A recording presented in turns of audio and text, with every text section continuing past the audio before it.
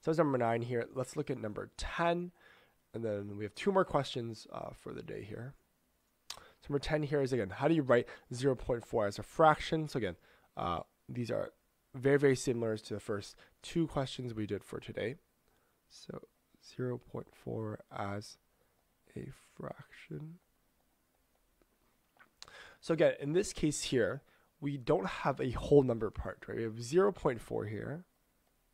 And we don't we have zero as our as our um, as our the uh, the things that exist on the left side of the decimal place uh, ha- is zero here, right? So we don't actually have anything on that side here, but we only have the decimal part. So no, we don't even have to convert it to a mixed fraction in this case here because I didn't have a whole part. We can just simply convert it into a uh, improper or a proper fraction here. So in this case, again, this here, again, always my tens digit here. So tens digit, which means this here is simply just, if I want to write a decimal into a fraction here, it's decimal into a fraction. My denominator is always going to be 10 because it's, it's only existing in the 10th tens digit.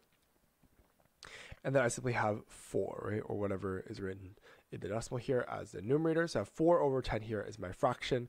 And then what I can do, again, I can obviously um, reduce to lowest terms.